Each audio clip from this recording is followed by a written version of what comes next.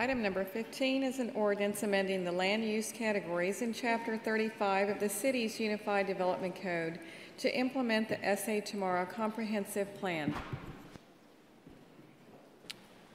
Councilwoman Viagran. Thank you, Mayor. Um, I think there's a presentation. Rudy, if you could please give that. Uh, Yes, ma'am. Uh, Good morning, Mr. Mayor and council members. Uh, The next item is consideration of proposed amendments to two sections of the Unified Development Code as detailed in your packet. Uh, This item was first considered at your June 21st public hearing, but was tabled at the request of council to conduct further, a further round of public outreach, which the, which the department completed in the, uh, the summer of this year. As part of my presentation, I'll include details of the staff proposal uh, as presented to the community in open forums, as well as an outline of the full public engagement effort.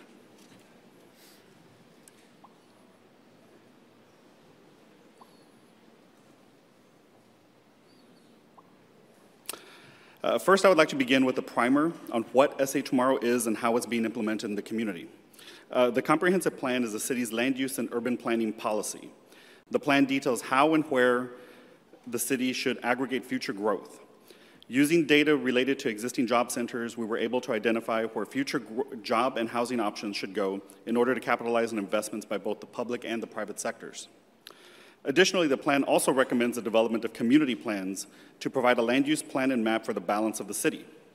These areas uh, partner neighborhoods that have similar characteristics, such as time of development, number of neighborhoods, and similar challenges and opportunities. Uh, It should be noted that community areas are not intended to specifically accommodate significant amounts of future growth.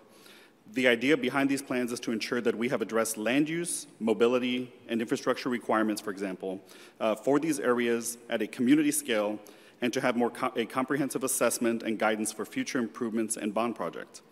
The Planning Department will utilize existing plans as a critical baseline for the development of modern plans that address land use at the community scale, but also support neighborhood conservation and promote local priorities. The council directed the department to initiate the regional center plans within a three-year work plan and the balance of the sub-area plans within five years. Then the department will take the critical next steps related to implementing the plans so that they do not sit on a shelf. This slide details what a land use plan is. In summation, the city's land use policy for a specific area that details how the area will grow and develop, what pattern that growth should take, and recommends an actionable plan to implement the land use recommendations. In short, land use is intended to provide cohesive districts with compatible uses. However, it should also be noted that a land use plan is much more than a map. It defines a future for a community through policies as well. These policies and the land use map together are guiding principles for decisions related to the land use planning and future investments in a community. Uh, these decisions are made by the development-related boards and commissions of the city, as well as you, the city council. Having said all of this, a part of implementing the comprehensive plan and to better develop modern, more comprehensive sub-area plans, the department is now proposing to update the land use categories in the Unified Development Code to ensure that we have a clear, concise set of land use categories that will guide our city into the future while addressing longstanding needs in our community. Through the years and based on the comprehensive plan adopted in the 1970s and updated in, in 1999, the city implemented a series of neighborhood and community plans to guide growth and development. Over 40 plans in all, the city has yet to enjoy a land use map for all of San Antonio. And this fact remains even after almost 40 years. Each of these plans has their own set of discrete land use categories, yet most differ from those categories in neighboring plans, setting the community up for a disjointed land use pattern and unfortunately disallowing, in many cases, opportunity and choice in some areas of our community. SA Tomorrow recommends an approach where opportunity and choice related to future land use is available to all areas of our community. Choice for folks that have fewer options, thus uh, addressing community equity, and access to the services that are needed no matter where you live in the city. The proposed amendments would take the city from the current set of over 50 categories to a harmonious set of clearly defined categories that address the city's future land use needs. On the screen now, you can see the community engagement effort that was conducted to get to this point in the process. From focus group meetings to city-wide meetings with residents to outreach with organizations like SAGE to engagement with staff in your offices at a number of key points in the process. Additionally, the Comprehensive Plan Committee forwarded these amendments back to the City Council following a series of community meetings that were conducted by the local chapter of the American Institute of Architects. I would like to thank uh, the AIA and we uh, state that we appreciate the effort of the AIA architects in that process. On the screen now, you can see the timeline of the formal adoption process, which included a number of briefings to committees uh, and consideration by both the Planning Commission's Technical Advisory Committee as well as the full Planning Commission and the Zoning Commission. Both of these city commissions recommended approval to the City Council with a unanimous vote.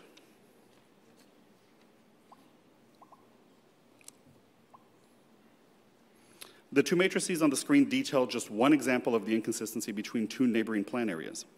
Uh, these matrices highlight the lack of overall consistency and the potential for a future land use pattern that does not uh, provide the city with an efficient nor effective use of our land.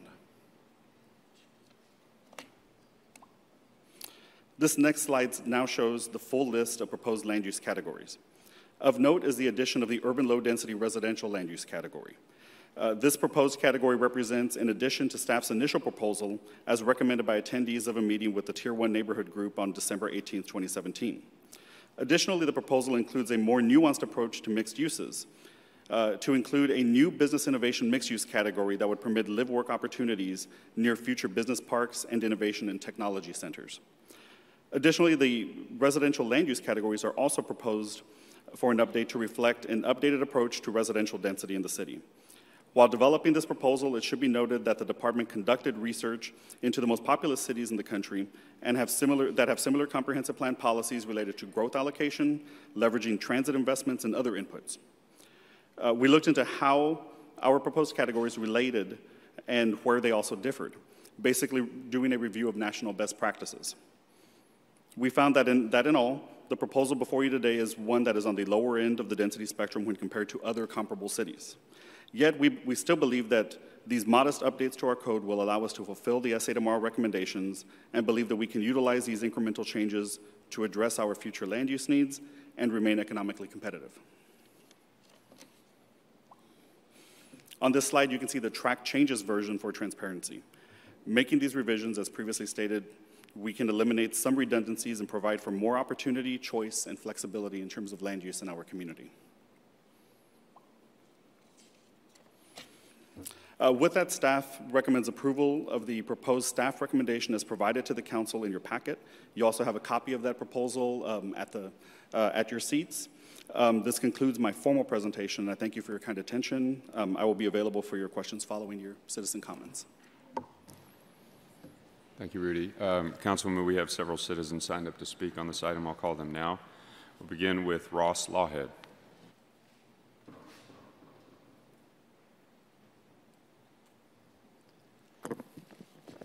Thank you, Mayor. Um, I had Mr. Bruce Mary with me, and he did sign in, but he had to leave for a funeral. I don't know if I can have his three minutes or not. You can rule on that.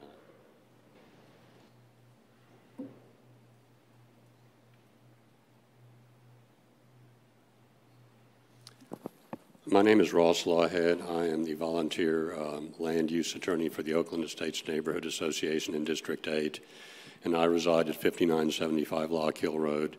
San Antonio, Texas. Um, I'm here to speak about the land use uh, category definition adjustments. I have a couple of concerns about it. One is a general concern that all this is being used to drive density, and it's being used to drive density only in neighborhoods that don't benefit from having restrictive covenants that prevent it, and I don't like that about it. I know that council is headed this way anyway. I have a couple of comments. Um, I don't like that the low-density residential includes R4, which is 4,000 square foot lot, which is smaller than traditional city lots, but I understand that Tier 1 wants it there, so I would ask the Planning Department to consider creating a suburban low-density residential that does not include R4. I would also support what I've heard from Tier 1, which is the medium density residential should not include MF33, which is multifamily, which allows four story apartment buildings. I think it really shows where this whole thing is heading when you call something medium density residential and it includes four story apartment buildings. Um, that's my objection. I would li now like to make an additional request related to this, which is the Planning Department has moved forward to make changes at the expense of neighborhood plans. And as you go forward and presumably approve these land use category changes, I would urge you to do a council consideration request to get strengthening neighborhood plans onto your agenda so that it can be addressed. Um, for residents of older neighborhoods not protected by restrictive covenants, the future land use plans in neighborhood plans are the only means for any input into the future land use in their neighborhoods. The citizen input processes for the development of these land use plans are exhausting and sometimes divisive. Redevelopment interests can buy a single lot and then get a seat at the table and seek to change an entire neighborhood. In this context, council members seek consensus, but may eventually need to make hard decisions before these plans are approved by council. These decisions should not be excessively relitigated. San Antonio tomorrow plans to eliminate neighborhood pl plan land use plans by rolling them into larger sub-area plans. One of my great concerns is that when a sub-area plan comes to council, you're going to pass it because it's so large. You're not going to reject it over the problems of an individual neighborhood. Planning says it will honor land use plans, but it intends to require them to be redone to remain effective. This is the problem. The planning process for citizen input is so exhausting, and you have literally hundreds of citizens that have put in hundreds of hours, and now we're basically looking at that being disrespected. Um, I have particularly looked at the existing UDC provisions that require five-year interval full process renewals of neighborhood plans. Uh, planning has not allocated sufficient resources to support this requirement, so they've let these neighborhood plans basically go to where they're not fully influential. But very recently, a temporary rule determination was made to protect them in the interim, led in fact by development services, but acquiesced in by planning. My problem is nothing legally enforceable requires planning to retain neighborhood based local control over the citizen input process for future land use plan development, revision, or renewal. So, for example, I'm in Oakland Estates. We know what we want in Oakland Estates. We have a land use plan. We had to fight for it a great deal with the planning department, but we have it. But if later on this just gets rolled up into a sub area plan, there's nothing committing the planning department to use Oakland Estates residents to plan Oakland Estates land use. We could be simply one person on a committee of 10 over a larger area. They are not locked in. There's too much discretion, and they've blown away the little influence we have by putting neighborhood plans in play. Oakland Estates has drafted a proposed ordinance to solve these matters. Uh, part of that's on there. If I could ask you, sir, to shove it up a little because the part at the top is less relevant. Key elements of this ordinance are to roll forward the current land use plans into SA tomorrow without the gating requirement of these exhausting renewals to make plan renewals at the discretion of the planning department. They still have the power to come in if they're rolled forward. But you need to understand the way it's written right now, any developer can require a wholesale plan renewal. All they've got to do is buy one piece of property or put it under option in my neighborhood, and then they can require us to go through this exhausting process. They don't need that power because they already have a parallel power. When they want to rezone, they can actually get a concurrent process before the Planning Commission for a spot plan amendments so that they can do the rezoning. So if you give them the rezoning, they don't need this power. This is a separate power where they can force, I don't know, dozens of my neighbors to put in, I don't know, 50 or 100 hours over a period of six months to a year just to technically renew the neighborhood plan under the existing ordinance language, which is not proposed for amendment. I don't know if I had three or six. I'll conclude. Action should be um, action should be taken now to protect neighborhood plans while planning is modifying the UDC because the neighborhoods are paying attention right now. You should respect the volunteer efforts, and we request a CCR, and I ask that Deputy City Manager Zanoni get involved. Thank you. Thank you, Mr. Lawhead. Tony Garcia.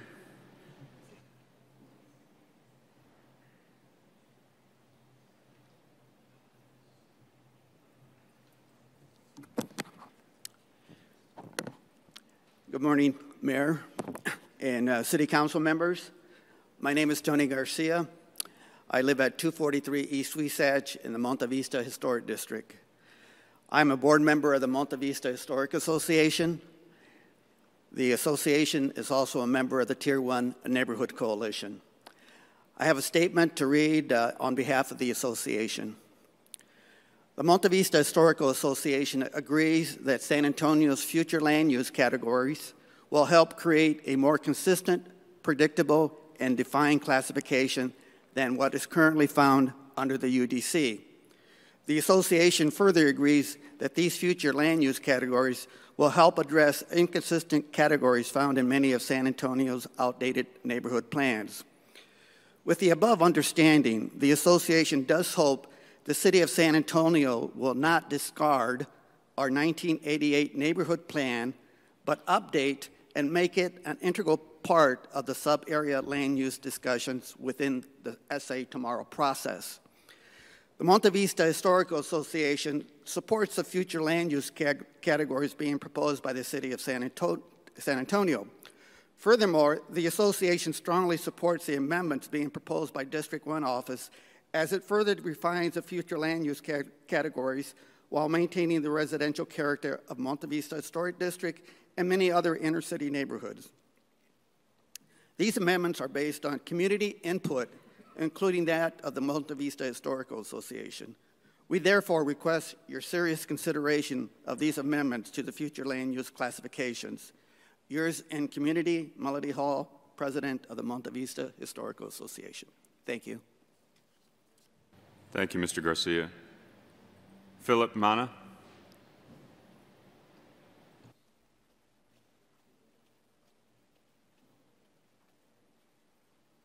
Good day. Uh, my name is Philip Mana. I live at 9525 Rochelle. I am the president of the Alamo Farmsteads Neighborhood Association, and I was the planning chair of the Huebner Leon Creeks Community Plan. And for the last three years, I've been one of the few community members on the City of San Antonio Planning Commission Technical Advisory Committee.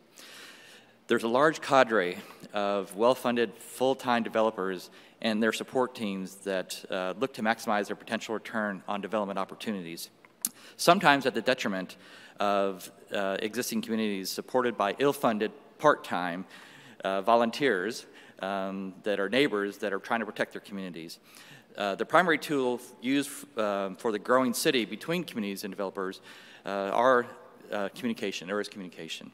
And fortunately, the city has provided a lot of good tools for this, which includes um, the community plans, neighborhood plans, community zoning commissions, and the UDC. And each of these avenues allows for input and feedback on how developers must engage within communities. Uh, the Leon Creek Community Plan was one of the first to be approved by the city in 2003. Uh, since then, many plans have been created within the communities uh, that have leveraged the existing um, um, UDC, which includes those defined within low density and medium density residential. I do not agree with the council should uh, be approving the change to the UDC specific to the R4 residential zoning district from medium density to low density classification. Over the last 20 years, I've spent a lot of time working with developers seeking denser infill development in our community by moving the R4 zoning from medium density to low density removes one of those communication points required by the developers seeking denser infill into our low density communities. Um, we're not against density, and you know, we just want to ensure that there's community engagement. And this week we had an encouraging dialogue from District 7 office that engaged with our with a developer to bring in a more dense community into actually an existing um, um, low density development and it seems like it's going to work through very well. So, so it's so you know it's good to have those dialogues that are provided through these uh, these uh, rules that are kind of set in place.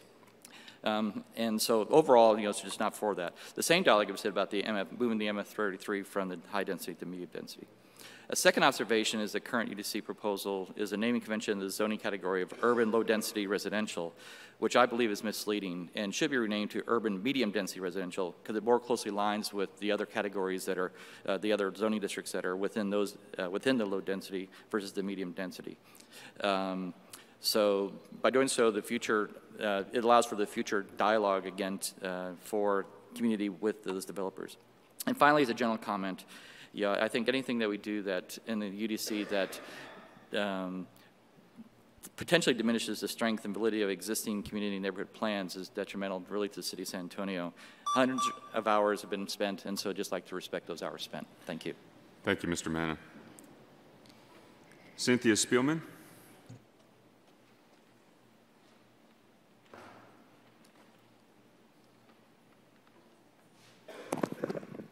Good morning. My name's Cynthia Spielman. I live at 900 West Woodlawn, and I'm a resident of District 1.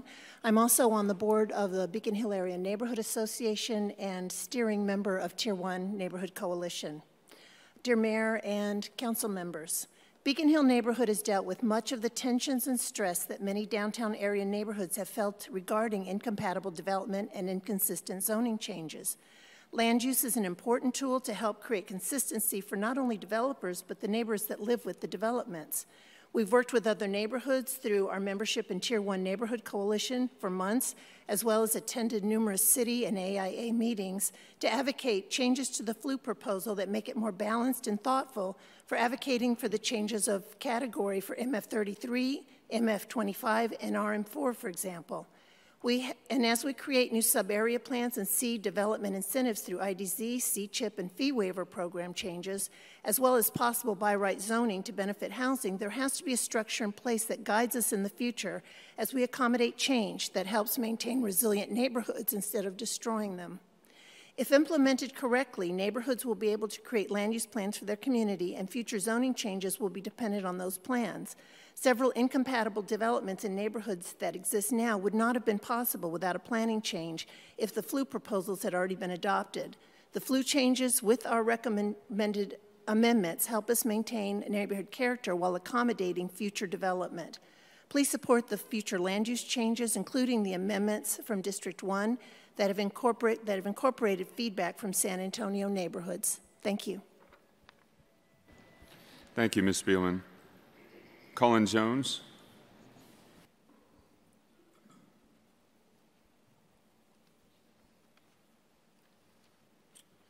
Uh, good morning. My name is Cullen Jones. I live at 1123 Nolan, San Antonio, Texas. I'm going to uh, be reading a letter here on behalf of Tier 1 Steering Committee. Uh, Mayor, uh, Tier 1 Neighborhood Coalition is a coalition of over 50 inner loop 410 neighborhoods that encompass all but three council districts. While no one can represent that many different entities without a vote, our steering committee of nine comes from the far, excuse me, from the four parts of the inner city, and we ask City Council today to support the proposed future land use plan. We proposed, excuse me, we held a well-attended public workshop at San Antonio College on the future land use changes, as well as countless smaller meetings with different neighborhood stakeholders, worked on issues over the last several months to suggest balance changes in the proposal, and help create an effective tool to plan for the future as we participate in the SA Tomorrow comprehensive sub-area planning. We worked with individual neighborhoods and more local coalitions to help produce changes we hope will guide the future of our communities while protecting and preserving what is best about us. No document is perfect, and so much depends on our trust in the city to work in good faith with its residents, but the future land use changes will give structure to an unwieldy land use, which we hope will help us all make sound decisions about our future. Tier 1 Neighborhood Coalition Steering Committee, Kosa McColvin, Christine Drennan, Tony Garcia, Homer Hayes, myself, Ricky Kushner, Velma Pena, Cynthia Spielman, and Teresa Ibanez. Thank you. Thank you, Mr. Jones. Velma Pena.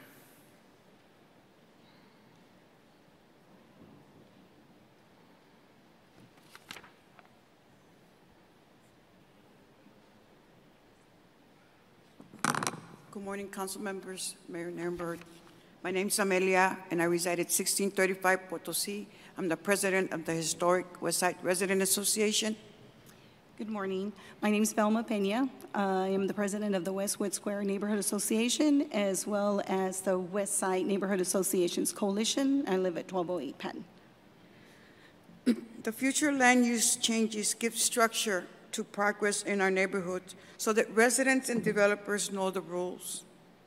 We're seeing our neighborhoods destroyed, one case at a time, especially what happened yesterday at 1201 Montezuma. We want progress and revitalization for the residents who live here. Councilwoman Gonzalez, please continue to preserve our community and work for the betterment of us all by endorsing this plan. Council members, please support the flu as we move into the future, especially the amendments proposed by District 1. Thank you. Thank you, Ms. Pena. Mary Johnson?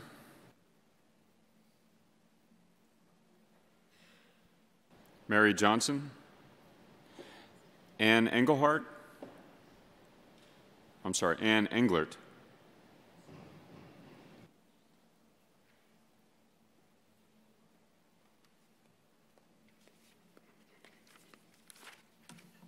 Thank you. My name's Ann Englert, and I live at 331 Mink in Dellview. And um, yesterday, it became apparent that many of us needed to step forward. So I prepared a letter, and I was able to send that to all of y'all in the wee hours before going to bed at midnight. And I'm writing to ask you to support the land use changes that have been incorporated with the feedback from the San Antonio neighbors. Much work in the dedication from my contemporaries have gone into developing these plans to protect current and future neighborhood developments to be used and be meaningful to our beloved and unique neighborhoods, as well as allow for growth and density. And you've already heard from Cynthia and others today about Beacon Hill, and it's just imperative that I feel that we have something that's consistent going forward because if, if we don't have it, then we've, we've got opportunities where neighborhoods are going to be left behind, but more importantly, the voices of the residents will be too. So I appreciate your time. Thank you. Thank you, Ms. Englert. Councilwoman Viagran. Thank you, Mayor, and I want to thank everyone for coming out and um, all of the letters and everything that has been shared and communicated with our offices. Um, because this is very important. This is a very important step that we're taking right now, and it um, involves thorough and transparent um, communication and process as we move forward.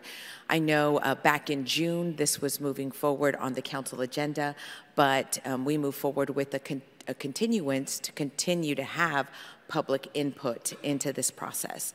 And the public input has been happening. So, Rudy, I have some questions for you right now.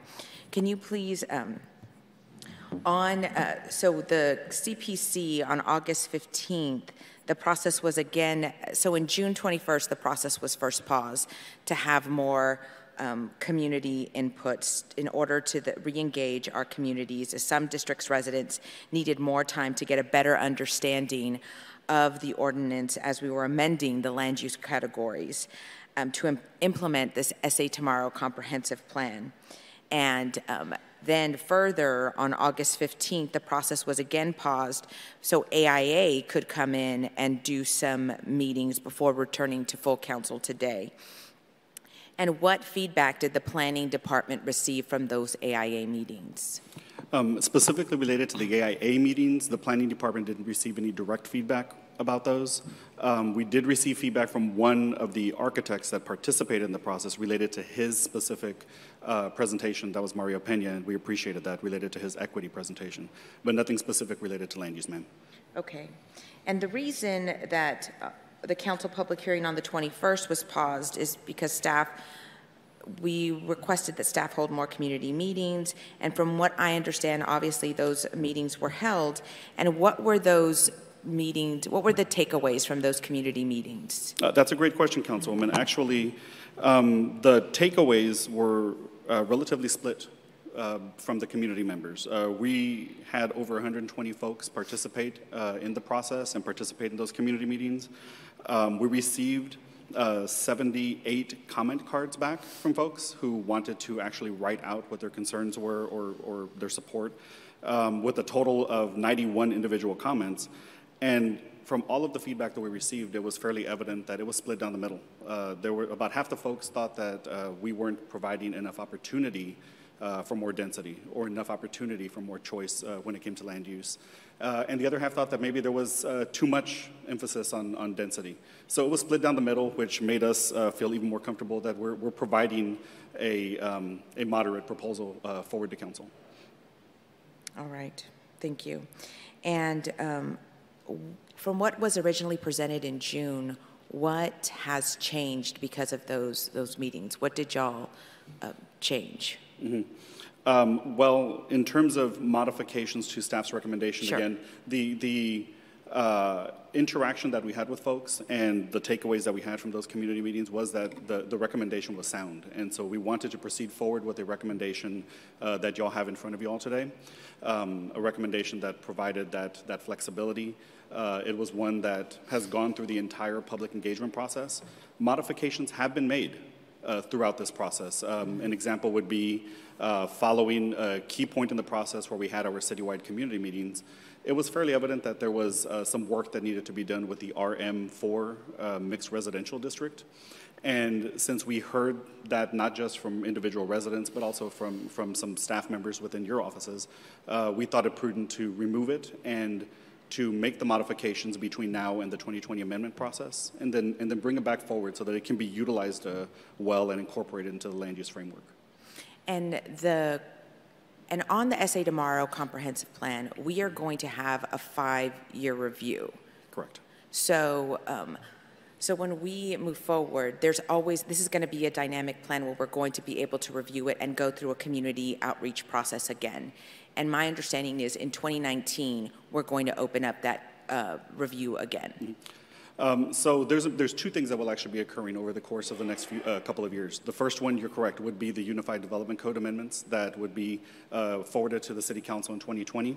Uh, The Planning Department, as, uh, through uh, funding that was dedicated from the council, uh, will be conducting a Unified Development Code assessment. And what we're going to do is we're going to hire a third-party consultant to look at the comprehensive plan and the goals and policies therein, to look at the Unified Development Code and to see what, can, what do we need to modify in order to make sure that we're actually implementing those goals and policies. Um, additionally, the Planning Department also will be providing to the City Council following a five-year process a, um, a status report on where are we actually in implementing the comprehensive plan. So you, the council will have those two opportunities to provide uh, guidance, one on the development code, and then number two on the, on the policies that are in the plan itself. And I need clarification. What we're moving forward with right now is, is not about that whole IDZ category. That is correct, ma'am. That is still something that we need to talk about later. Yes, ma'am. As I understand it, there is a, a completely separate process, a CCR process that is being driven by the Development Services Department uh, to provide uh, IDZ reform uh, and recommendations about IDZ. Uh, that is not part of what this proposal would, would entail. Okay, thank you very much for that clarification. Yes, ma'am. Um, I think, as was mentioned in many of the statements here, we are a very different community, and I think we took a bold step to have a comprehensive plan, the SA Tomorrow plan for San Antonio, because we wanted that guidance and we wanted that um, clarification. And as it was mentioned, safeguarding for our neighborhoods and our communities, as many of our neighborhoods and communities are going through transitions. And as was mentioned too, there are a lot of inconsistencies. In myself and in my district, we've had to initiate CCRs to do different items for um, land use, et cetera. But like I mentioned earlier, pausing the June 21st council meeting was to re-engage the community, and we have done that, and to make sure that we continue to reach out and try and answer those pending questions to the changes in the land use categories. Now, I also understand that what we have here presented today, the staff's recommendation, um, has that the Planning Commission's Technical Advisory Committee, the Planning Commission, and the Zoning Commission have been briefed on staff changes and all recommend approval. That is correct, ma'am. And I want to make sure that we follow this process. And, um, and I thank my council colleagues for this continued vetting of this, and that's why um, we're, we're here today. But I also want to make sure that I know that you all have, and we have received just yesterday, the council members, um, two amendments to this.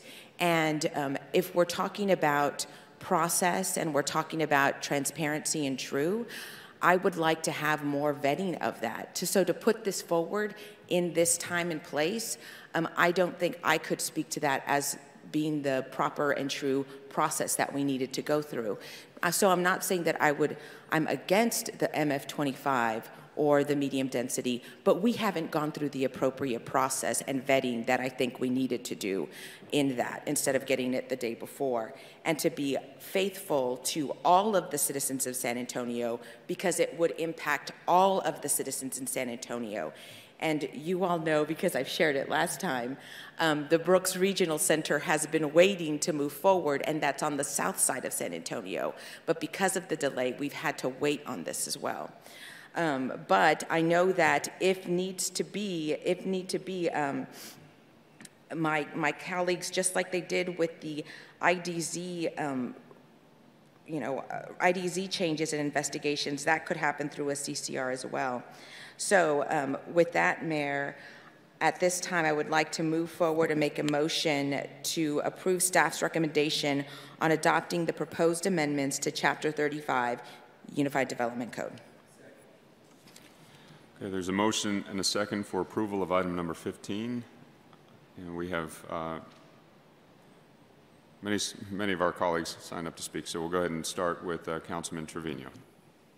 Thank you, Mayor. Um, and I had hoped to pull this item to offer an amendment uh, to this item based on the thorough evaluation uh, by myself and my District 1 staff, along with uh, planning and the District 1 and Tier 1 neighborhoods. Uh, really, this is about the character of their communities. And uh, first, I just simply say, look, I, I uh, Rudy and Bridget and the entire planning department, I appreciate all your hard work. This is, this is a tremendous amount of work. Um, you know, what we what we're simply saying is that there's there's pieces of this that uh, I think we've been fairly consistent about in, in what what we're trying to accomplish, and at the heart of that is protecting the character and, and spirit of neighborhoods, uh, as you heard earlier.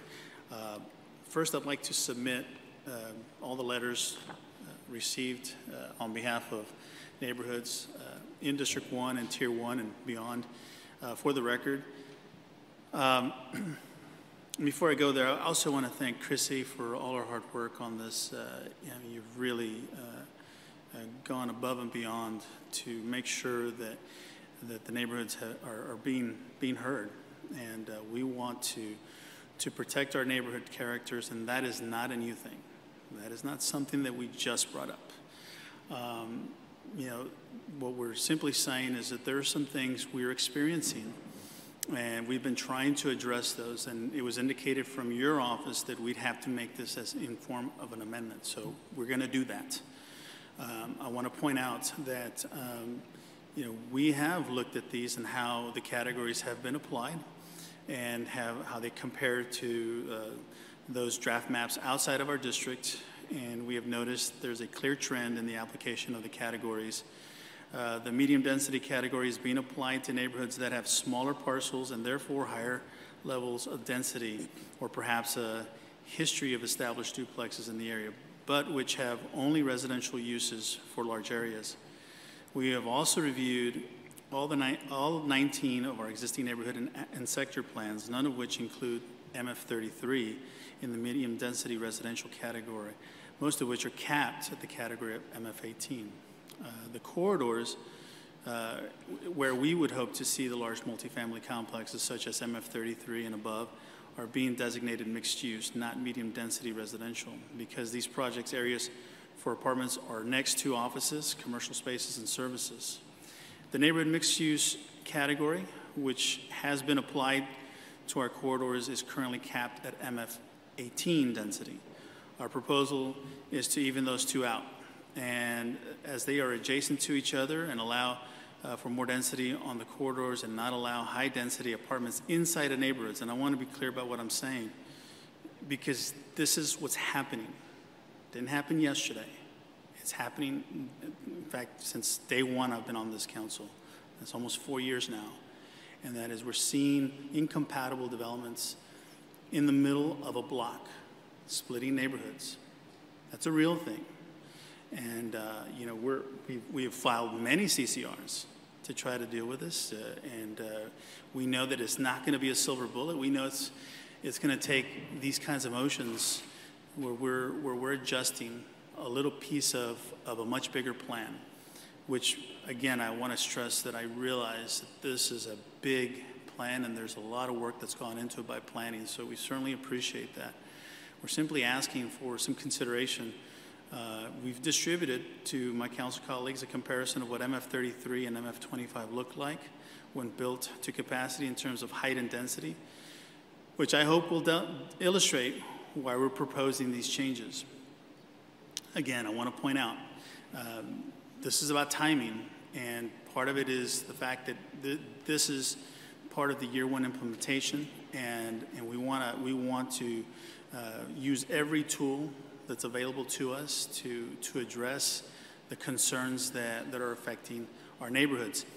Um, and one of those is basically it's it's a simple ask. It's the neighborhood plans, and I will continue to advocate for neighborhood plans. I will continue to advocate for uh, a, a way to make sure that the character of neighborhoods are protected, are, are considered as part of our planning process.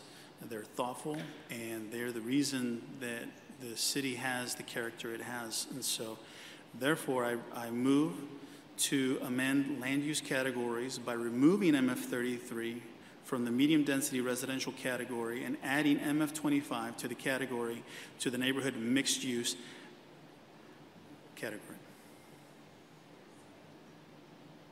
Thank you, Mayor. Okay, there's a motion and a second uh, for an amendment as read by Councilman Trevino to item number, um, item number 15. And so as we proceed through the remainder of the discussion, um, I will ask my colleagues to contain their comments to the amendment. We'll take up the motion on the amendment, and then we'll move forward with the main item uh, and the main motion. Um, so we'll start with Councilman Perry. Thank you, sir. Um, it, it's already been discussed about the, the process, and we have gone through a lengthy process. If you can pull up slide five.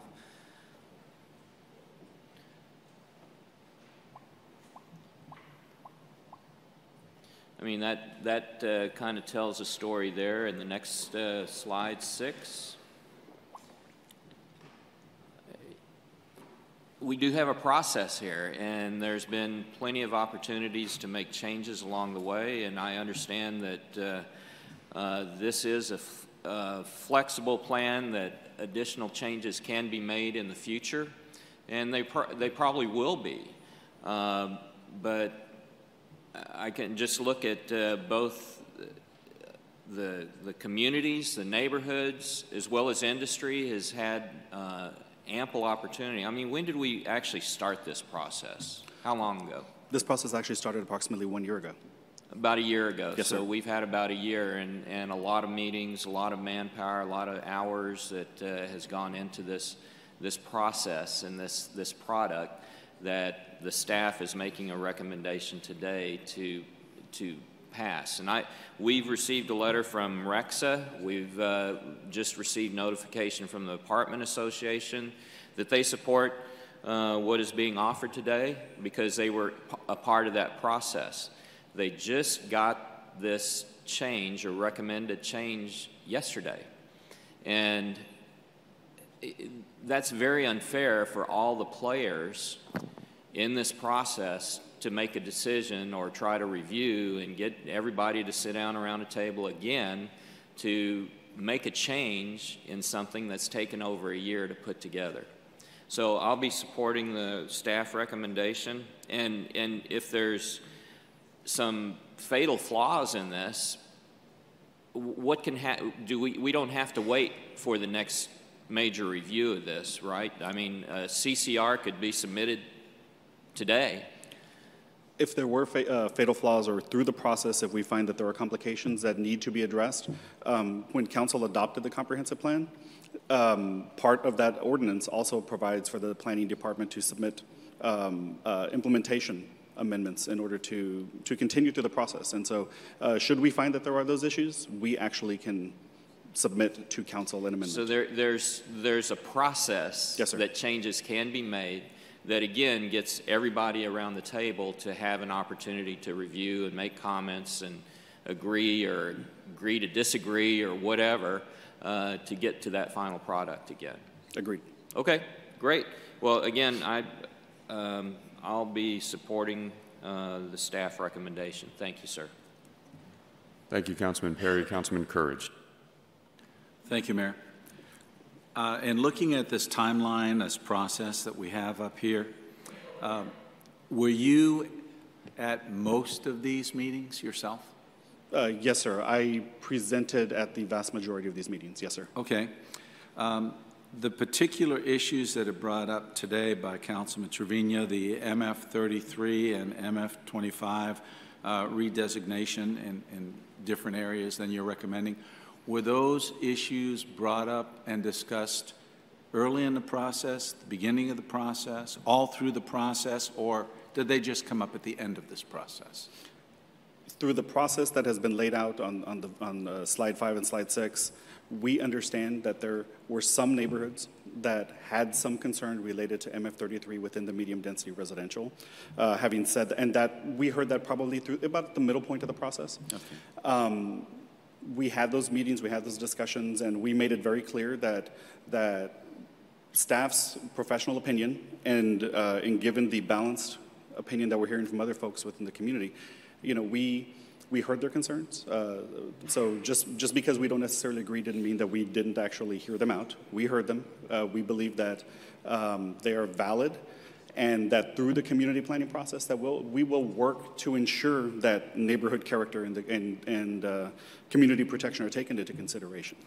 Um, in terms of the amendments that have been proposed and are on the floor following Councilwoman Viagran's amendment, uh, we didn't know about those until Monday, specifically. Okay. Thank you. Um, now, I understand with MF 33, one of the things that was mentioned to me that uh, someone could want to rezone uh, a residential property in the middle of a neighborhood uh, to MF 33, and that would allow them to build a four-story apartment complex there? Well, um, given the way that the process works, they can actually do that today. At the end of the day, an applicant can always submit an amendment to any plan, and they can submit any sort of rezoning case that they would like. Um, through this process, what we're proposing is that we are updating all of these land use plans, so they will all have, number one, updated land use categories, but also updated policies. So, for instance, while it may not necessarily directly speak to the issue of, um, of MF33 within, the, the uh, within a particular block, uh, we can talk a little bit about the Oakland Estates situation because I know that, that was brought up earlier. Um, Prue Road is um, not necessarily a fully improved arterial roadway that's north of, of Oakland Estates. There has been concern about R4 uh, zoning permeating into the neighborhood given the fact that there is a low uh, proposed, the proposed uh, low density residential category would include R4. Um, having said that, part of the localized policy that can be de developed as part of the SA Tomorrow plan, given that we have, we have been promoting this idea of flexibility within these plans, we can develop a policy that says within uh, the properties that are located along Prue Road, um, densities that are at R4 or greater are not recommended. Mm -hmm. And so that policy would, would essentially supersede the, the map uh, category because it will be a text uh, policy. Um, but again, any applicant at any time can request a plan amendment or a zoning change for any, any, any parcel within the city. That is part of their right as, as a property owner. Right. But if MF 33 were not included in medium density, mm -hmm. then could someone go into an area and try and rezone it to MF 33? Um, they, it's a medium density area? There actually is a process for them to do that as well. Anyone can also um, submit a text amendment to a plan. So let's just say that MF33 were not included within the medium density residential category. Mm -hmm. Somebody can actually still, through the, through the plan amendment process, submit a text amendment and say, we want MF33 in these land use categories because we want to apply for a zoning change. And what would be the process to have that happen? They would have to submit an amendment, uh, an application for an amendment to the Development Services Department, right. and ultimately that request would still have to come to City Council.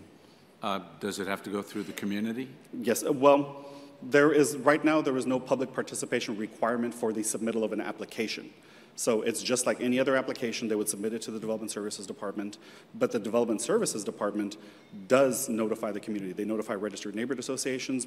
Uh, when it comes to zoning changes, property owners within 200 feet all receive a notice. So there is a process that is laid out to make sure that the community is aware, as well as the, the new updated uh, signs that are provided to the community. And so uh, and I'm just trying to understand if we Yes, sir. move this out of this area, you know, Mhm. what the impact is. So you're saying that someone can still request to replan the neighborhood to allow uh, MF 33, but it's just a matter of they make the request, the city planning department handles it, they send out notices saying there's this request. They have to have public hearings? Absolutely. There has to be a public hearing that's involved with any modification to a land use plan that's been adopted Right. or to any zoning. And then if the planning commission approves that modification, then it still comes to council for its It, it final must still approval. come to council for consideration. And I would like to also point out that the, the construction of the land use categories and the recommended zoning districts that are attached to them do not necessarily reflect what uh, must be on the ground. If something were categorized as medium-density residential, it doesn't have to be zoned uh, MF33. That is part of the reason why the planning department recommended and the council uh, approved um, the budget so that the planning department can take the next step in implementing these land use plans by rezoning properties so that if we're going to work with the community to develop these land use plans, we should also be working with the community to ensure that the zoning is most appropriate for those parcels. So we will be working with the community to ensure that the appropriate level of intensity is placed on a piece of property. So the category is just the first step. It's the labeling of property. Ultimately, there still has to be a zoning process that determines what can actually go on the ground. So in the instance, let's say, of a residential area that is categorized as medium-density residential, um, if there are single-family residences uh, throughout that block, typically, we would categorize it at the, at the least amount of, of density that, that would be appropriate within that category. I mean, we, we would certainly work with the neighborhoods to make sure that that is part of, part of the process. Well, if there are single-family and duplexes, then does it become more of a, a mid-density area then? And Uh, There is the potential for that. I think that, um, again, neighborhoods and communities are, uh, as part of the process, are case by case.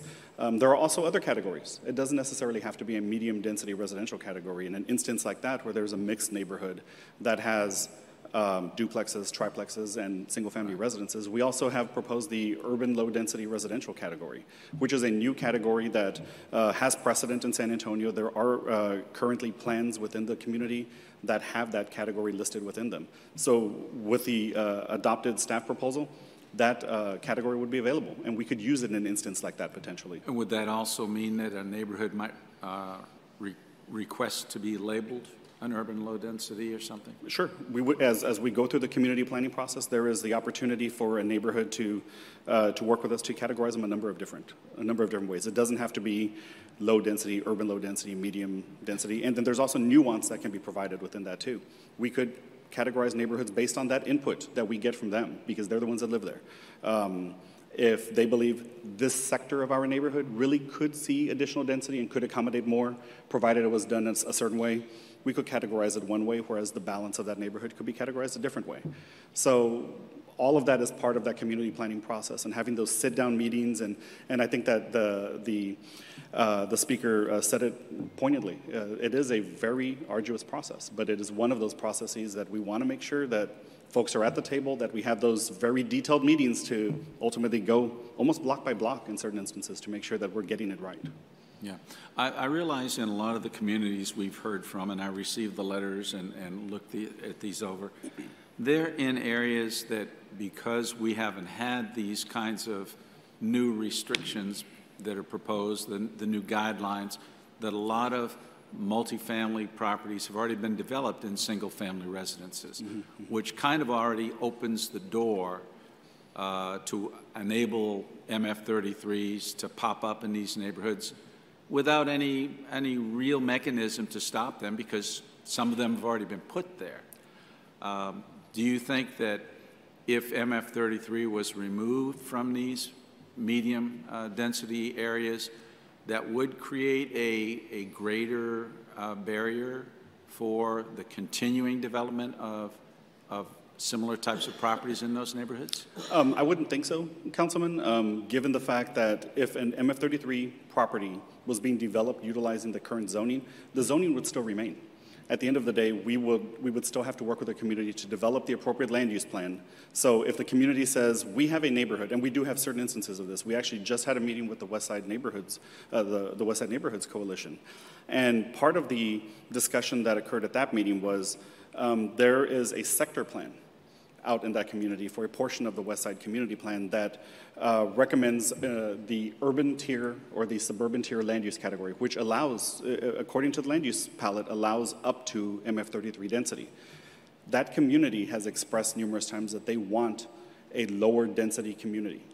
And so part of our process has to be looking at the, at the current uses that are on the ground, looking at the current zoning, ad adjusting the land use plan accordingly, and then following it up with a zoning process. We can adopt a land use plan for an area, but if we don't address it with zoning, then the, um, the entitlement is still on the ground for somebody to still put an MF33 property.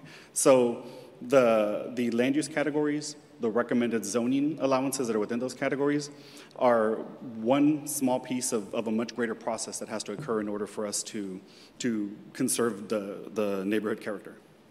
Can there be uh, modifications to MF33 that would say they can only be developed on arterial streets rather than, you know, central uh, neighborhood streets?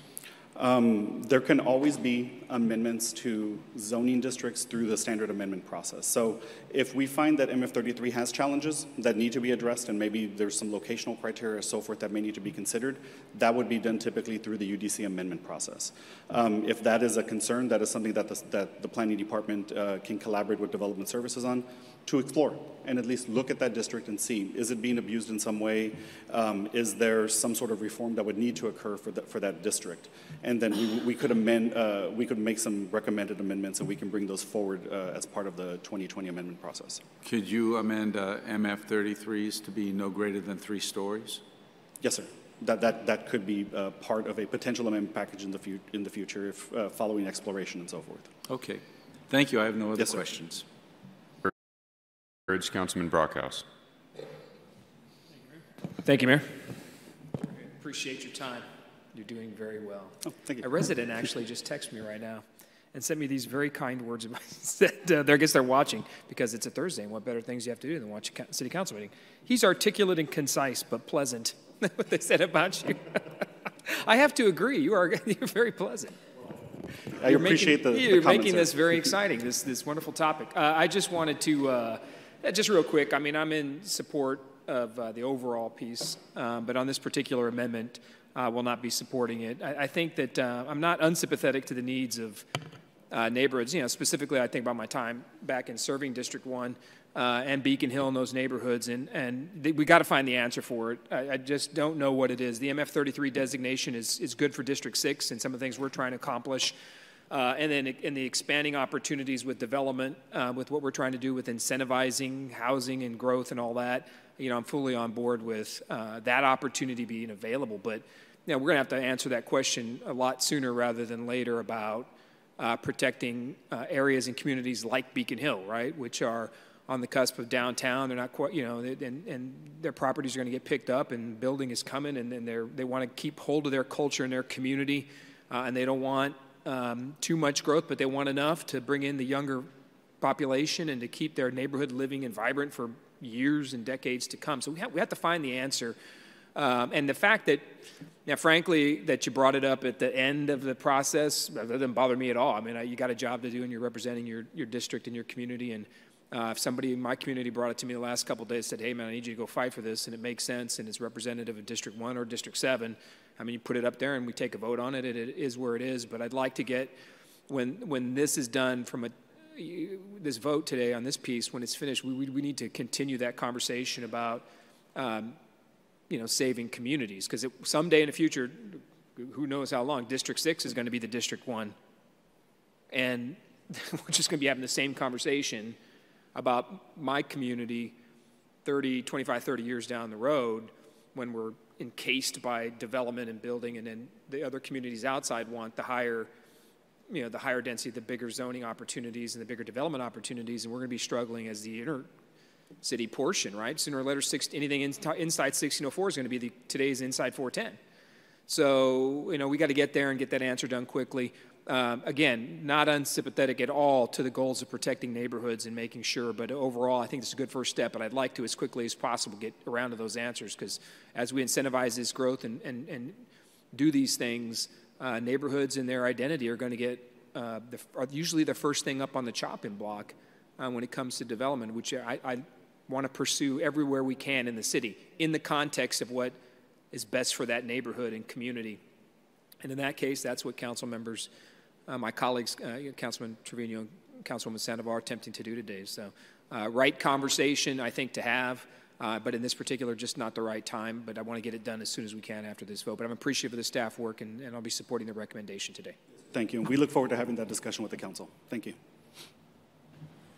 Thank you, Councilman Brockhouse. Councilwoman Sandoval. Thank you, Mayor. Um, I, I seconded this motion because I believe the councilman brought forward some good points and that they were worthy of a discussion before we moved forward on this. Um, I, uh, I think the changes, you know, we were talking yesterday about a historic agreement on the on the Alamo, and, and I think this is historic too. So uh, we want to be very thoughtful as we move forward. Um, you know, the more you work on something, sometimes the more things you find, the more you learn as you're going along, and you want to keep uh, improving it. Um, but unfortunately, at some point, we, we do have to make a decision, right, in, in, in order to, to get going. Um, but nonetheless, I do think this is worthy of, of the discussion, so I'm, I'm glad that we're having it right now. Um,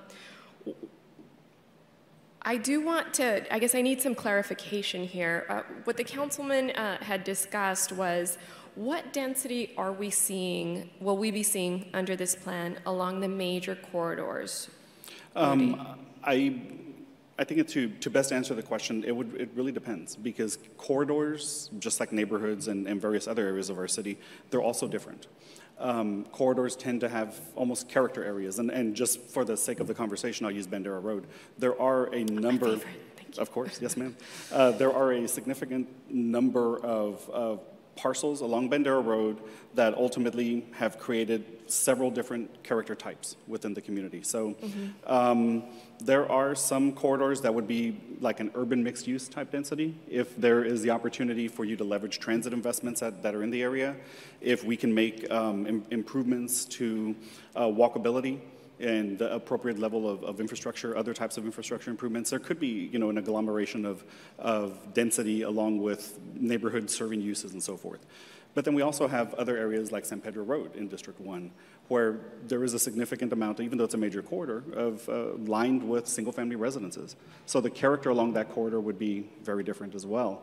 So I think that um, it's incumbent upon the planning department when we work with the community to, to be sensitive to that, to the idea that, that no corridor is alike, no neighborhood is alike, the circumstances are very different, and that's the reason why uh, the comprehensive plan recommended that we're not moving forward with sub-area plans, you know, whether they be regional center or community plans or corridor plans, that recommend a blanket type of land use for any one area. We have to have a map and we have to have policies that are localized to that specific area.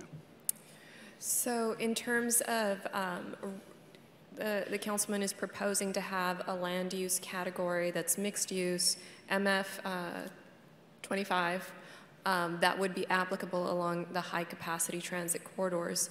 Are you telling me that's not possible with the current staff recommendation? Uh, what I, with the current staff recommendation, we have proposed up to MF18 within the neighborhood mixed use category, which is where the councilman has recommended adding the MF25. Um, so given the fact that we would like, as the planning department, at least our proposal to the council would be uh, to continue to be faithful to the public engagement that we have had. And so we want to be sure that we have proposed to the community since the beginning that MF18 would be the highest level of density in, a, in that particular category. So we're proposing that today. At, uh, towards the, you know, at the end of this process, it would be council's discretion if you believe that it would be most appropriate to have the 25 district within that category. Sorry, you promised that MF18 would be the highest density they would see along. Within that land use category, not necessarily specifically. Where, but within where, a, ca- a Within the category. The application would come during the, the community planning process. Sorry, and just state again which category?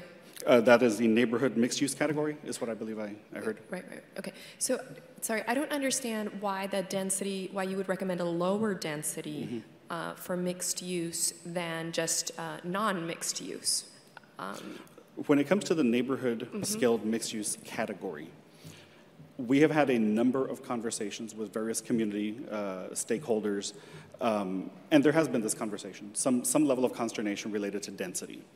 And the neighborhood scaled mixed use category being most appropriate adjacent to, to neighborhoods, where neighborhoods have the opportunity to access the goods and services that that category would provide. Additionally, that category would also provide opportunity if somebody wanted to, let's say, live uh, in the place of uh, where they're conducting their retail or conducting their service use. If they wanted to have apartments upstairs or condominiums upstairs or somewhere within that facility, then the category would allow that flexibility as well. So given the fact that that category and the text within the category describing it says that it would be adjacent to residential neighborhoods, there was a discussion with the community about what level of density would be most appropriate there, what level of density would the community be willing to tolerate if we're creating this, this category at all. This is a new category. Okay, so they would be willing to tolerate up to that density adjacent, but it sounds like you believe they're willing to tolerate an even higher density within the neighborhood. Not necessarily. Again, it depends on how the community moves forward through the planning process in determining what, de- what appropriate category should be within a particular community. Um, the example that I gave earlier about um, a neighborhood that may believe that there is a, a small pocket where additional density could be appropriate, the planning department, of course, is willing to consider that discussion with the community if the community feels that a center neighborhood uh, collective of parcels would be appropriate for higher density. Um, but I wouldn't want to completely just say that that would apply across the board. Okay. um, these are, this is a complicated change. It's not, I, I don't believe it's, it's straightforward, so I'm still uh, processing Mhm. that. I, I do have a, a couple of questions. Because this is so complicated, can you explain to me, Rudy, why are we seeing this on the dais? The councilman mentioned that that was the direction you gave him as opposed to integrating or discussing it as, as a staff recommendation? Um, the councilman had re, is making these amendments, the MF25 in the neighborhood mixed use and the MF33 in the, the removal of the MF33 from the medium density residential is a, is a request that Councilman Trevino is making to the council. It is not part of staff's recommendation, so it would have to be a, an amendment that the council would make. Uh, So, um, so basically, staff is not would have recommended against it, even if this came up two months ago. Um, because it has not been part of our community outreach, um, the proposal that you have in front of you is the one that we are advocating for today. Yes, ma'am. And um, can you uh, explain, again, I'm just trying to understand the, the, the Sure. process here. Um, so here we are at, at council voting on something extremely significant. um, was this discussed at, when was the last time this was discussed at committee, the committee dedicated to the comprehensive planning process? Uh, the Comprehensive Planning Committee met on June 20th, which Mhm. is at the, because the, the city council, they, they, rec- they heard a briefing on the 20th. Uh, the city council here considered it on the 21st and asked that it be remanded back to the Comprehensive Planning Committee. At the Comprehensive Planning Committee over the summer, it was determined that it, we, they would like to see one more round of community engagement meetings that were going to be conducted by the American Institute of Architects chapter locally. And so following that, it was also determined at the CPC that we should bring it back on this date. Okay, so CPC said we do not want to see any revisions that occur after AIA, basically. The CPC did not suggest for or against any, any revisions at that time. No motion was made related to revisions at the CPC. But they, they basically said we are okay with whatever happens. It does not need to come back to the CPC. They, they didn't They- request to see any changes Correct, after they- that round of engagement. Correct, ma'am. They forwarded it to the city council at that meeting. Okay. Um, so I just, thank you for explaining that Yes, process to me. It, it helps me um, sort of put the pieces together, how, how we ended up here today. Um, I do want to make just a, a, a comment, and um, this is, so we have a process at City Hall, um, and I, I think it's a great process that, that the city manager started. Uh, it's called a high profile solicitation for, for contracts, right? Things that are extremely controversial that we want to have above board. There's, there is a very clear process about how that's going to happen. I think we need to consider starting to do that for high profile policy that we, that we bring forward because uh, you know, even back on June 21st, and this is no attack on you at all. Understood, it's- I'm just bringing up a, a, a discussion item. Even back on June 21st, I think there was um, some uncertainty about, well, what's the appropriate way to do the outreach when we have a major change coming to council, but we didn't take it back to the stakeholders. And uh, I put forward a CCR called Advancing Public Participation, and thank you, Rudy, you and your team have taken notice, and you're starting to integrate uh, some of the recommendations in there. I really appreciate that. But I, I just want to throw it out there to my colleagues that I think we do need to start thinking about when we have a high profile policy item, what are, what are going to be our standards? What are going to be our expectations that the public can, can expect from us that, you know, when we're going to go to them, when we're going to go to committee, all, all that stuff. Um, so thank you very much for, for answering those questions. I appreciate it, Rudy. Yes, ma'am. Thank Thank you. you, Mayor. Thank you, Councilwoman Sandoval. Councilman Pelaez. Thank you. There's a there's an old cowboy saying that says, "If you don't know where you're going, you best not put on your spurs." um, and to be honest with you, I have no idea what I'm going to do here. Uh, but uh, but I, what I do think is I haven't heard enough, and I've heard a lot of really good points, and and I'm just curious if Mr. Trevino has any good answers to this, because I'm really curious to hear what you've got to say. And so now that I've chimed in, Mayor, I kind of regret it. and I'd like to hear what, what Councilman Trevino has to say. Thanks, Mayor. I'm sorry, Councilman, are you yielding the floor to Councilman Trevino? All right, we have other members of council in the queue. Uh, If we can, well, actually, just one, and then we'll go back to Councilman Trevino, if that's okay. All right, Councilman Shaw. Thanks, Mayor. Um, you don't have to say anything. I I got it. Um, I had my questions. You answered all my questions days before today. So thank you for, to you and your team. Um, I also understand the concerns of, of Councilman Trevino, and I'm sure we can address those concerns as we move forward. But um, as I've discussed with him as well as my colleagues, I will be uh, uh, supporting the recommendation of staff and can looking forward to continued conversation regarding the amendments. Thank you, Mayor. Thank you, Councilman Shaw. Councilman Trevino. Thank you, Mayor. And I just, I guess I have to address something that I, I kept coming up because it, it feels like uh, we're, we're talking about two separate things now. And um, you made a great point, Mayor, when you said, let's keep it pertinent to the amendments that I made. And what, what I think is being suggested is that, again, that, that uh, this just came up. So Rudy, I would ask you, did this just come up? In terms of the full package of amendments I'm, are I'm talking from me, from my office, and, and working with you Mm-hmm, in the planning department. Did this just come up? And again, in terms of both of these amendments, we just heard about them on Monday. The MF33, yes, has been part of a long-standing conversation with your office and also with, with a number of neighborhoods. Thank Yes, you. sir, I did see that.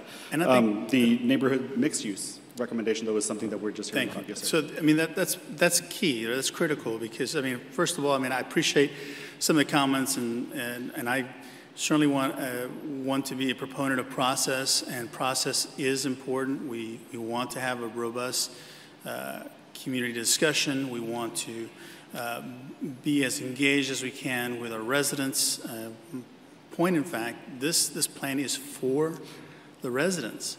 And, and so we have been bringing this issue up since day one. Um, I want to be clear that if, if my council colleagues are confused, it, it, it almost feels like it's by design. And, and, then, and to, to suggest this is just something that just came up is, is something that I take exception to. Um, so I just want to point that out. You can disagree with me, and, and I think we're okay. I mean, that's why we're up here to, to discuss policy, and we want to we want to be clear about what we're talking about today. So I agree with the mayor. We're, let's talk about these amendments. Let's talk about what they mean. But I take exception with anybody suggesting that I just brought this up. I want to be clear about that. This is about neighborhoods. This is about the character. This is about neighborhood plans. They keep saying this over and over again. I, I, I'm confused about why this is even being said at all. I'm sorry I've confused some of my colleagues. Uh, you know, I don't mean to. Uh, but uh, I look forward to working with each and every one of you to try to uh, help clarify some of this. Uh, I take I take this role very seriously, and, I, and I'll tell you, every one of my staff people especially Chrissy, has been working uh, diligently on this for quite a long time, and I know it's a lot of work, and I respect the work that goes into uh, these, these kinds of projects. Um, but Chrissy has worked, worked with uh, other council staffs. We, we've brought this issue up. We will continue to bring this issue up, and I will continue to advocate for, for what I have experienced and what, what my district has experienced as incompatible development. And we're just trying to find a way forward. So I ask for that consideration. I realize that, that there is a, a lot of confusion, but uh, let's, I, I, can only hope that we continue to have more discussions uh, on such an important topic, and I think this is one of the most important issues my district is facing. Thank you, Mayor. Thank you, Councilman Trevino. And, and uh, first of all, I appreciate all the conversations. Um, so let me just say first that I'm not confused. In fact, um, for those of us, most of us actually, who, who have been up here working on SA Tomorrow, even as, as pr prior to coming on council, could see this train coming a mile away and that is that the premise of SA Tomorrow and the whole idea of a comprehensive plan was to, number one, accommodate an incredible amount of growth that's happening in our community right now, and the fact that those incompatible developments that are occurring in District 1 are starting to bleed over into every single other district, and they're going to continue to happen. And without a comprehensive plan, it's going to be even worse as we expect new development to arise, particularly as we're getting to some really serious policy um, discussions and resolving an imbalance in housing that's occurred. There's going to be way more development, good quality development, that we hope uh, addresses a drastic need in housing that our city has currently today. And if we don't have rules of the road, if we don't have a comprehensive coordinated land use plan, the, the problems that are occurring in District 1 and the reasons that Tier 1 got together as a coalition will only continue to get worse. So let me first, um, let me say in addition to that, I appreciate everything that Councilman Trevino uh, has been doing. Um, the Tier 1 neighborhoods, the coalition, has a seat at the table because of Councilman Trevino. Um, and, the, and the feedback that we've gotten during those meetings and the intense discussions that have happened have not gone on deaf ears. In fact, I've seen a lot of changes uh, in my time working on SA Tomorrow uh, on these very land use categories. I'll also say uh, I take my previous role as a District 8 City Council member pretty seriously in this discussion as well because Ross Lawhead has been a frequenter in City Council chambers to make sure that neighborhoods have plans and that they're protected in the future. So let me clarify one point, and this was true in the preamble of SA Tomorrow when we're creating new land use plans, when we're uh, resolving some of the land use category um, contradictions, one of the premises is we're doing that to protect the, the integrity of neighborhoods. So I want to make sure that we don't lose the tools that we have available as single member district representatives to make changes uh, to land use categories zoning categories, zoning districts, when we see that this map that we've applied to the city of San Antonio doesn't work right in this one instance. Um, nobody likes to say down zoning in this chamber, but it's true. We might have to downzone a few places if it looks like it's incompatible.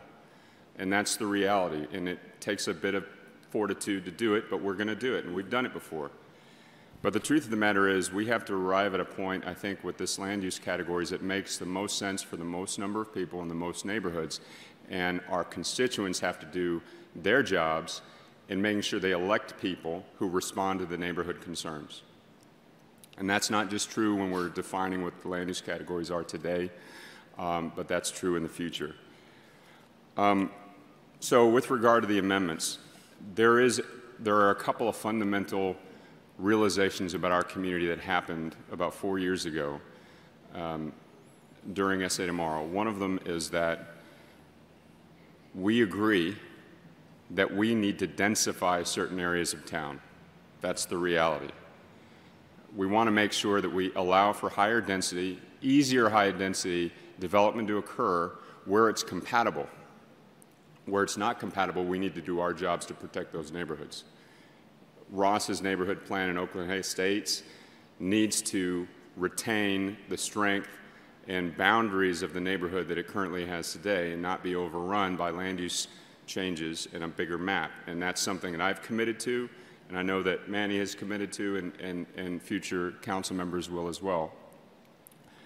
The second uh, issue, or second realization through SA Tomorrow, is that we don't just have one urban core, we have nine of them. In fact, we're going to have 13 of them when the real population boom occurs.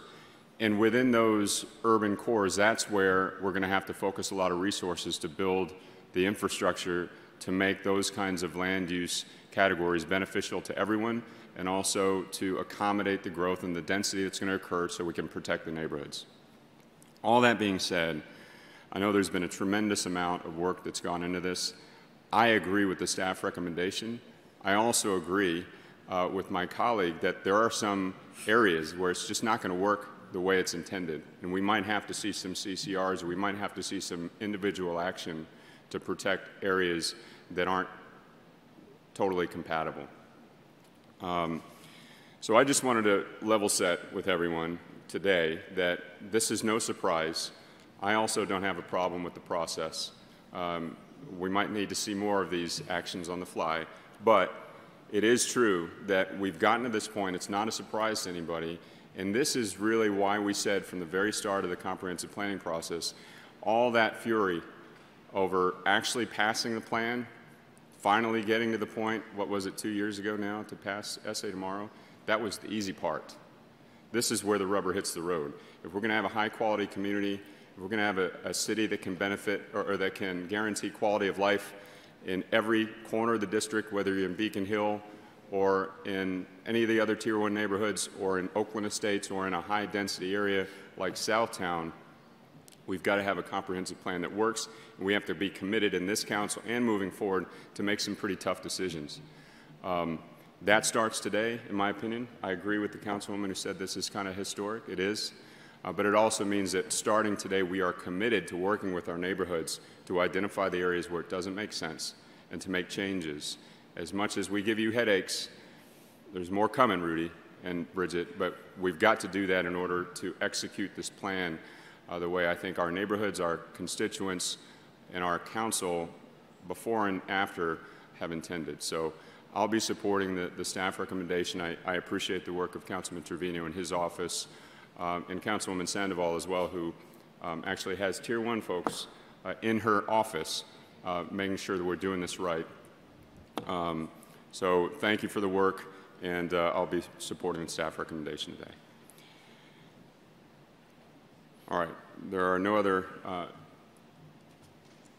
well, yeah. Councilman Pelaez.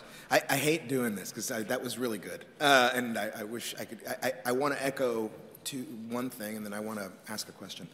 Um, it, I will fight you tooth and nail if we, if I ever see that we are doing anything to imperil these neighborhood plans.